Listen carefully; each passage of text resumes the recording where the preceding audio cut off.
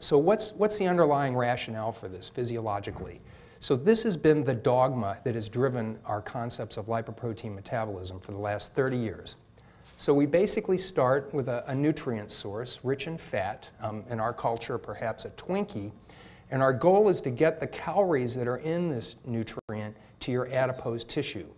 So initially, we take up the fats into our intestines, and those fats are absorbed. But we don't transport them directly to adipose tissue. Instead, we send those fats to the liver via these very large particles that contain a lot of triglyceride called chylomicrons. The particles are disassembled in the liver and reassembled into VLDL and LDL that are secreted by the liver, and those particles actually transport the nutrient-rich triglycerides to the adipose tissue. So one of the paradoxes of this is that these particles are very rich in cholesterol, which as I've told you is a key player in maintaining the integrity of your membranes so that they don't leak water.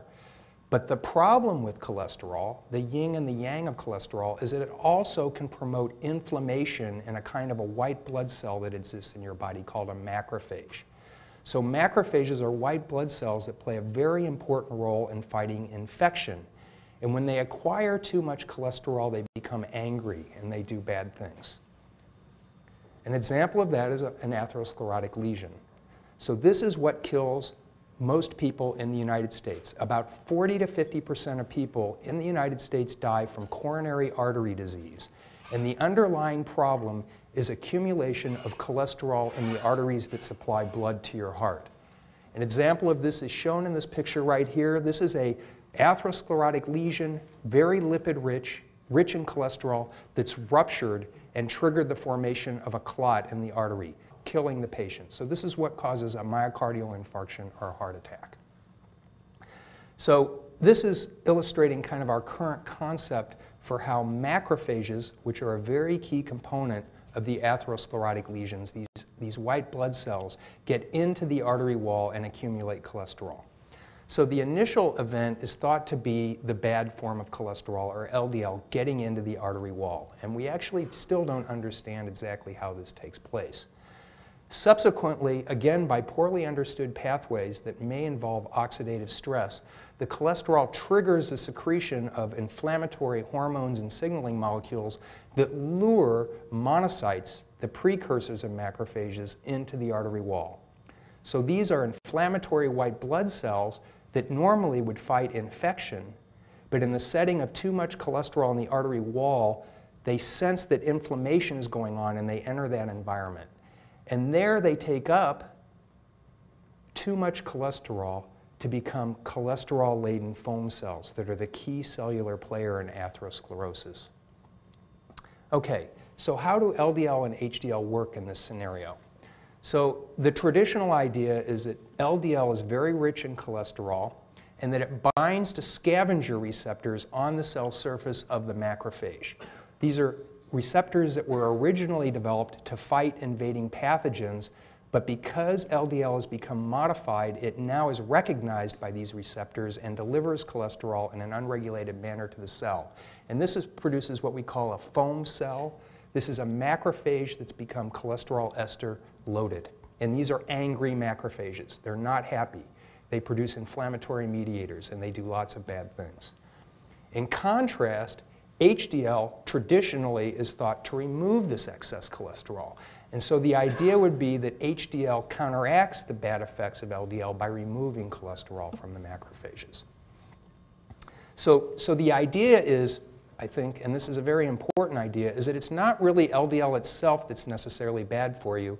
It's a modified form of LDL that can bind to these receptors on macrophages that normally recognize invading pathogens. And I think one of the themes of the story that I'd like to tell you tonight is that we think that HDL is also playing a role in these infectious pathways. So the notion is that LDL is modified and that causes disease.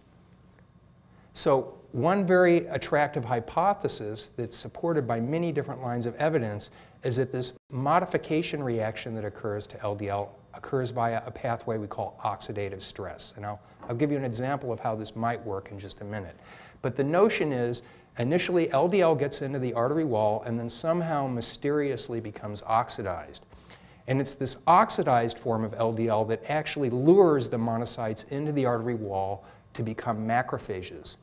In concert with that, oxidized LDL can also bind to the cell surface of these macrophages and be taken up, producing cholesterol-loaded macrophages.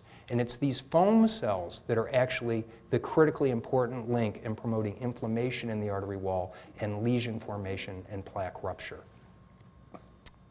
So one pathway that white blood cells like macrophages use to generate reactive intermediates involves an enzyme called myeloperoxidase, or MPO. And I've colored it green here because this is a beautiful green protein. The first time that I purified this, there was an intense green column of the protein bound to the uh, column that I was using for the isolation procedure. And as soon as I saw this protein, I, know, I knew I wanted to work on it. It's an incredibly beautiful protein. So normally, the myeloperoxidase resides in granules inside macrophages and other white blood cells. But when the cells become activated, for example, by sensing a bacterial or fungal pathogen in their environment, this triggers activation of the cells. And, and two things happen. First, the cells use a membrane-associated enzyme system to generate hydrogen peroxide, a relatively weak oxidant. The cells also secrete myeloperoxidase. And the myeloperoxidase interacts with the hydrogen peroxide to generate an oxidant called hypochlorous acid and probably this is more familiar to people in the room, as bleach. So we use bleach, for example, to sterilize pools or our water supply. And what we're basically doing is recapitulating an enzyme pathway that was developed hundreds of millions of years ago by white blood cells to kill invading pathogens. So your white blood cells make bleach. So the normal role of this pathway is to kill bacteria and fungus. And we've been able to use mice that lack myeloperoxidase to demonstrate this. But what we proposed when I originally moved to Washington University was that bleach could also be a way to damage host tissue at signs of chronic or acute inflammation. So we originally became interested in the idea then that bleach generation by myeloperoxidase might be a mechanism for the macrophages to damage LDL and promote foam cell formation. So to first test this idea, we did a very simple experiment. What we're looking at here is human atherosclerotic lesions that have been stained with antibodies that recognize specific things. And the staining is demonstrated by the intense red color that you see. So on the left panel, we're looking at a region of the, of the lesion that's uh, very rich in macrophages. And on the right side of the panel, we're actually looking at something we call the necrotic core that doesn't have many cells in it but is very rich in cholesterol. In the upper panel, uh, we're using an antibody that recognizes oxidized LDL. So notice that it stains the macrophages and it has a very distinct immunostaining pattern in the advanced acellular lesions on the right side as well. In the bottom panel, we've used an antibody that recognizes myeloperoxidase to stain the lesions, and these are serial sections in the same lesions. And what you can see is a very strikingly similar pattern of staining. Most of the MPO is associated with macrophages in the macrophage-rich part of the lesion, and most of it is around these cholesterol clusters, or crystals as we call them, in the acellular necrotic core. So based on these and other observations, we proposed that myeloperoxidase might be one mechanism for oxidizing LDL in the human artery wall.